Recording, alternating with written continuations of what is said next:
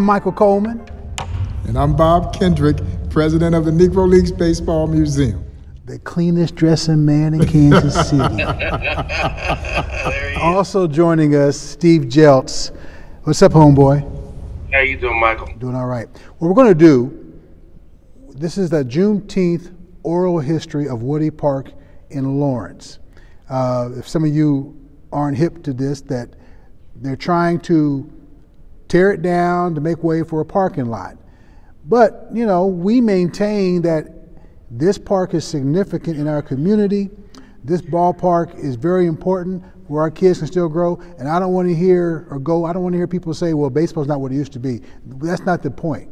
That's not, that's not the kids' fault. And if you're going to, and jump in here, Bob, if you're going to tear down a ballpark, you're definitely not going to make more interest in it. Yeah, no, and I think for the Negro Leagues Baseball Museum, Michael, we have a vested interest in trying to preserve areas that give kids an opportunity to play this game. And while I've never been privy to actually being there at Woody Park, just hearing what I've heard from you and others talk about the significance of what that park has meant historically in terms of opportunities for people like Steve to, to live out his dream. You know, at one point in time, he was a kid yeah. dreaming of playing in the major leagues. And, and, and that dream was fulfilled. And, and we have a vested interest in wanting to see these places be preserved and keep them active and alive. And so we naturally have an interest in this project. Let's bring Steve into the conversation. You played baseball all your life. I mean, I, when I used to see you play ball, you if you could wear your uniform to class, you would. but you, but your mom and dad like, nah, put some clothes on. But you you really have a, a, a soft spot for Woody Park, and I want you to tell our viewers why. Well, I grew up uh, on Third in Indiana, uh, right uh, two blocks away from Woody Park, and Mr. Woody he was just a legend before I knew what a legend was. He was always there for all of us. I mean, if you consider the time and then consider the impact he must have had uh, in the community for being a black man at that time and them naming a park after him. It, he had to have a profound effect on all of us, which he did. Um, we played football there. That was our go-to. I remember putting baseballs together with tape and taping up, uh, nailing up and taping up bats, and and we go down there and play baseball. Mr. Woody'd be down there, and and he'd help us out, and he would he would just inspire us to do and, and teach us how to play the game. So, you know, and then we had, of course, Gordon Scott. Um, you were on the Colts or over, over by Riverside, but we played Little League football there, and Gordon Scott. That place was packed all the time. I mean, it's just something. When I heard uh, you talking about getting rid of Woody Park, it's like taking a chunk out of my heart. Um, that's history, and that's, I mean, that's where that was our go-to. We all went there. And it's not about home runs or strikeouts. It's about memories. It's about tradition. It's about exposing youngsters to a ballpark they can just walk to, you know. Uh, and not everybody's going to have the best equipment. You talked yourself just now about taping the ball together. That's okay. You did that. You went to the ballpark and you played. And if you take that away from the kids, you know, how, how do you, if you're the folks who want to be a part of this, take it away, how is more cars in a parking lot going to be a memory lane for youngsters? And they don't have to go to the pros to have memories, uh, Steve. Absolutely not. I, you know, you know, I'm just sitting here thinking about it and, and, reminiscing about the times we had there, and and we were in a time, 1968, the race riots, and and the country was separated. And I think when I got to, we had three junior highs in Lawrence, West, uh, Central, and South, and uh, you know we had one high school, and and some of the seniors when we got to the high school, when I got to the high school, they were the when some of that was going on earlier, you know, and they kind of grew up with it too. And so it was a little separated, but I think we played together, black, white, Indian. We were all Mexican. We were all at that park playing and Mr. Woody was there and it was just, we all came together. So by the time we got to high school, we, we all came together. We all, I, I, still remember my friends, Dr. Godwin, Andy Godwin, uh, um, the Wyatt family, the Smith family, you know, Southers, Gaines. I mean, I can name off all the names and still know these. I mean, talk to these guys from time to time. And you know, I went on to play Major League Baseball, but that's where it started. And and Mr. Woody, they honored him in a time when not very many of us were being honored. So I think you know, for him to stand out to the, in that magnitude at that time was uh, says a lot. I don't know why would they would want to get rid of that. Bob, I know we know Major League Baseball had an issue with with diversity. Yes. Thank God for Jackie Robinson. But when it comes to kids, you don't even have to throw that word diversity out there because they're all shapes, all kinds of shapes, sizes, different colors, or different ethnic backgrounds, or whatever. They all came together for the love of the sport in a local ballpark. Yeah. Well, that's the beauty of ballparks, and that's the beauty of back when I played sandlot baseball. You know, and it, it saddens me, Michael, that we're losing the tradition of sandlot baseball. And as Steve is well aware, our sport now has essentially grown from a blue collar sport to an almost country club sport because it's almost pay to play. That's not baseball. That's not how we all got exposed right. to the game. And a neighborhood park like Woody Park brings a lot of memories for a lot of people here in Kansas City, Parade Park, right behind the museum. And it took, we had to really think long and hard about taking away Parade Park, even when we put in a baseball venue with the Urban Youth Academy mm-hmm. because of the rich history yeah. that was part of Parade Park. So many kids grew up playing baseball there. So many got to watch great talent like Frank White and others who came out of this community play there. Yeah. And then we had to make the conscientious decision that we would build this Urban Youth Baseball Academy, which is a magnificent facility that is helping bridge that economic divide that has priced out a lot of kids from playing this game. No sport holds to its history. No sport creates memories quite like baseball. No. And, and, and that's what we're talking about here when you have these kinds of monumental places that were a fabric of a community for so long. You hate to see them lost. And, and I'm guessing here, guys and folks out there, if you really want to help save Woody Park, you're going to have to step up your game and let folks know we're not going to let you do this without a fight. And we can only fight for so long, but that park, I think, deserves uh, that kind of rallying around to, to help keep it in existence. Jeltz, when you think about that ballpark and you're a little boy, those fundamentals that you used with Philadelphia and Kansas City, where'd you learn them from? What, what, what ballpark did you learn that from? Woody Park. Right there at Woody Park. That's the only place we had. We went to Woody Park and we played ball there. And I, you know, what Bob just touched on, you know, to change that could only be a change that would move things in the direction that Bob Kendrick was just talking about with their park. You know, there's got to be a plaque up there saying what it used to be, and this is where this what this was. And if you're going to do anything with it, then you magnify it. You don't take it away and make don't a park. Take it away. Don't take it away. Yeah, you you make it better.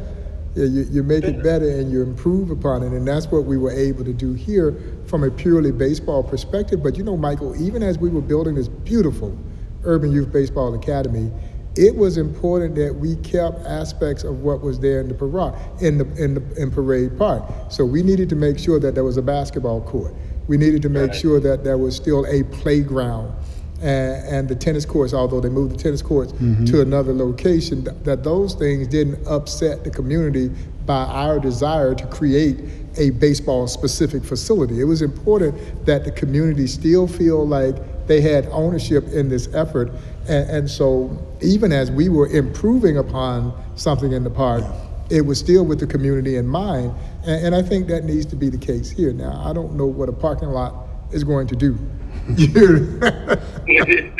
I really don't. You know, I think Mike Mike also touched on a very important point, and that's why we started Primal Sports and Primal Sports Charities because of that financial divide. Yeah. And it's not fair. And they price they price most of these kids out.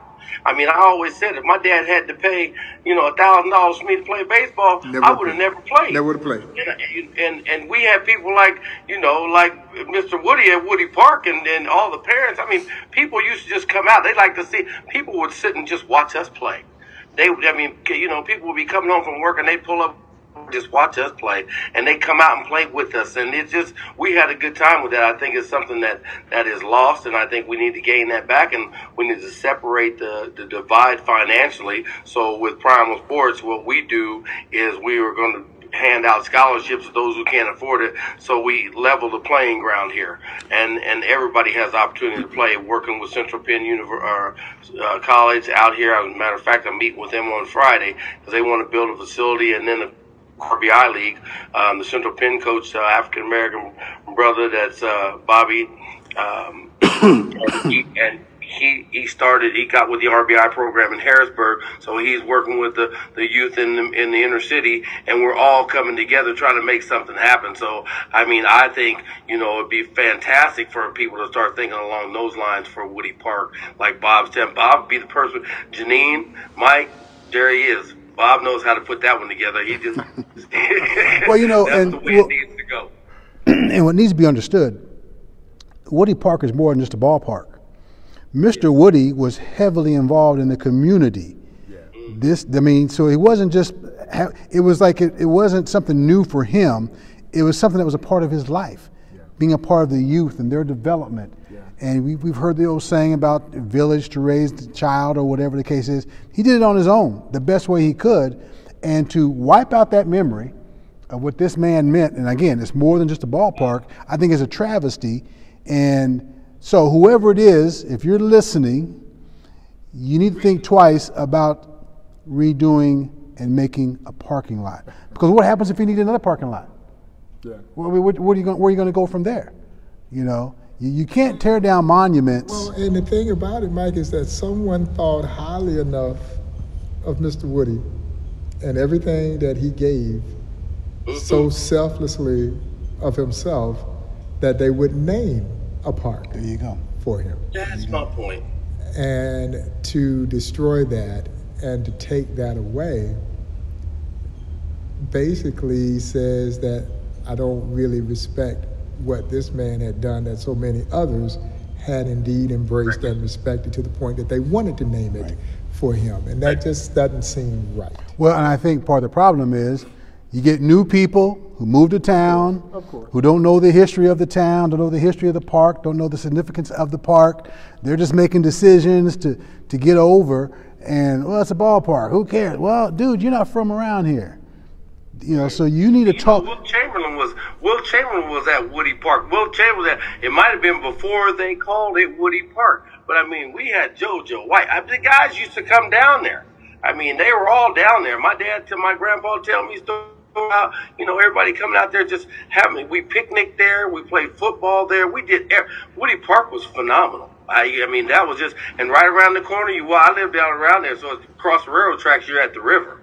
And I mean, it was just a safe haven. You could go back there and go hunting down across that way, and then you come back up to Woody, and VFW was there. And I mean, I remember that neighborhood well. It's a circle. We used to drive Indiana, Third and Indiana, around to Woody Park, where the hospital was right there. So, and the, you know, the Austin family lived right there. Right next door. I mean, that's where we spent our time. Woody Park was my history. That's where I started. That's my roots. Absolutely. My brother's roots and all the other names that I told you. That there are so many people that have been there, and it was just a spot. Woody Park has history. I can name three families who, who lived by that park whose homes are no longer there. And I'm not saying that they that they uh, fought against it being torn down, but the Austins, who you just mentioned, the uh, the Rileys, and I think and Alan Wright, they lived yeah, that way, right? And we were like within walking distance on Third and Arkansas. Those four homes are gone. They're now parking lots. So what? So how much more do you want? You got you, you tore down four homes where families were, you know, and no one objected. But I think folks need to object to this development right here. So uh, again, I think what they can start doing is, it is nice that they have a focus on that spot. So let's make it better. All right. So uh, anything you want to add, Bob? Because we're going to wrap it up right here, but uh, this needs to be talked about and talked about heavily. Well, I, I, do hope that the community rallies around a park that has so much history.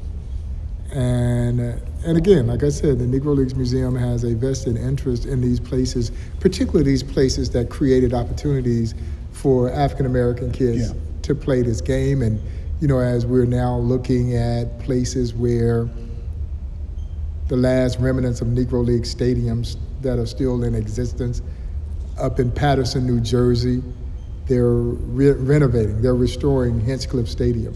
Yes, and, they and, uh-huh, and I was there when they designated it as a National Historic Landmark so that it could not be turned into anything else. And now it is about to be open as an active ballpark again, multi-purpose. Sure. So they made it. They improved upon it. Not only created a baseball field, but also created other opportunities for multi-sport kind of complex and shops and restaurants. And the same thing is happening in Detroit at Hamtramck Stadium, and, and that stadium is being preserved and restored. Same What thing. about, what about Municipal Stadium here in Kansas City? Well, see, and that's what happened. We tore Municipal down after they built the stadium complex, which is now Kauffman Stadium and Arrowhead Stadium. But what did we do? We at least created a monument there on the corner of 22nd and Brooklyn that designates it as the place that the Kansas City Monarchs once called home, but so did the Kansas City Blues, the Kansas City Chiefs, Kansas City Royals, A's. Kansas City A's all played there. And so at least some remnant of that history is there, you know, but the stadium was torn down and lost. And of course, it moved out to the, the, the current Yeah. complex. And that was also one of the issues that hurt people in the urban core because you didn't have the mode of transportation to get out to Kauffman Stadium. And, and all of a sudden, you started to develop this gap in the love affair between black folks and Major League Baseball. Right. And you saw this not only in Kansas City, but in other major league cities across the country. The stadiums left the downtown environment and then moved to the suburbs, and we didn't have access to transportation. And there wasn't the kind of readily available rapid transportation, and it still isn't in Kansas City. If you don't have a car, it's hard to get to the K Yeah. to this day. You know, and Yeah. so it helped create a little bit of divide. So you do need these community-minded assets that are available to again, we want kids to fall in love with this game. And, and to be able to to get out and participate in athletic competition, no matter whether it's baseball or not. And, and so, you know, you want to save those opportunities for young people so that they create their own memories as well that are going to be etched around more times than not community-minded initiatives. I think also it hurts baseball, since we're talking about the disparity of young kids really latching on to it, they play these postseason games at eight and nine o'clock at night on a school night. Yeah. You know, and so they're not going to be allowed to step and watch the game. I mean, I've heard stories where back in the day, kids were allowed to take their transistor radio To school. to, school to listen to the day games. But you can't I do that watched my today. first game, professional baseball game, the Kansas City Royals from Laverne Funeral Home balcony because my uncle, Uncle Laverne, had that, and I just used to sit there on that balcony. He had one of those bikes that you sit on, and you could pedal, and the handlebar move. And I used to go up on that balcony and, and remember see, seeing a, a Major League Baseball, watching the Kansas City Royals when they played across the street. And you know, it's funny. I, I went to a Boston Red Sox game. Um, I flew out with my agent uh, from Philadelphia, and I sat in the stands. And it was the first time that I have had ever sat at a major league stadium in the stands in my life. And I had already, I was playing with the Phillies. It was 88, 89. And we, I can't remember when when the Angels played Boston. The time I sat in the stands as a fan at a major league baseball game. Well, and That divide you're talking about and being way out there Absolutely. is it's real. Yes. Yes. And, and, and Frank White, we mentioned Frank White, Yeah, Frank was I the watched best ball play, player, not in the Baseball Hall of Fame. Certainly. All right. Well, it should be in the Hall of Fame. The exposure he got was working on the stadium. Yeah. I mean, this guy helped build Kauffman Stadium and wind up hitting home runs and stealing bases in it. I mean, you can't get any better access than that. But the No, I- you know, I exposure to I the teased sport. Frank, I teased Frank. We had a joke in the clubhouse because, you know, my brother was went, walked on up at KU and they said he wasn't good enough. And then he, two weeks later, he was in the Royals Academy with Frank.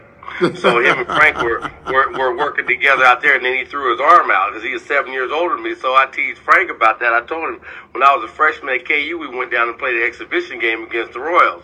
Whitey Herzog was managing. That was when George and Frank and I don't know Willie. Uh, you, uh, yeah, and all of them were out there at that time. Um, Big John Mayberry. Yes. And and so then in '90, I cut roll all the way back around, and now I signed with the Kansas City Royals. And and Frank's still playing. And when I told him that, he said, "Chelsea, shut up." I said, "I was watching you when I was a little kid, Frank. Now I'm playing with you." I said, "You know what? He can play baseball, and, and I tell you, he's a class act. I, you know, Frank White is is a good man, and and I just, I it made me, it made my stay in Kansas City We have a question. We got this live audience. Ain't a whole bunch of people, but we got folks who are interested. I can tell they're like, okay, this turned out a whole lot better than we thought it was going to. Your question, Janine. uh, is for Mr. Kendrick. Yes. The first game, and I've noticed it in your museum, was March 23rd of 1930, played in Lawrence, Kansas, a nighttime. First night game, yes. Was that at Woody's Park? I almost have to believe it was. Uh, We've been trying to find I, exactly where this game took place, but my, my guess is that it almost had to be Woody Park. But I I'm don't know. you. I don't know that for certain. So if anybody out there, we've been trying to find the Kansas City Monarchs debuted night baseball in 1930, five years before they ever played a night game in the major leagues, and they did test the lights in Lawrence, Kansas. And, and so we have been for the longest trying to figure out what field did they test these lights on. So if anybody knows there, y'all hit old Bob up and let me know, uh, or else we just gonna stick to our story. Works for me. That, just, it works for me. Anybody else? Anybody else? Hey, thank you all for joining us. A lot of this you're going to be able to see on Juneteenth, which is June 17th this year. Uh, it's, it's, it banged last year. It's going to be even stronger this year. Hopefully, Bob, if he's in town, Bob's a busy guy. He's ubiquitous. That means he's everywhere. But hopefully, he can come down and join. And Jeltz, you know, you don't need an invitation to come back home. Mark your calendar, my man. Yes, sir. Thank you. All right, for uh, Good to see you guys again. Good seeing you, Bob, man. to see you. Man. Same here, Steve, man. Always great to see you. For Steve Jeltz, Bob Kendrick, I'm Michael Coleman. We'll see you on Juneteenth. And please respond regarding the history of Woody Park. Thank you for watching.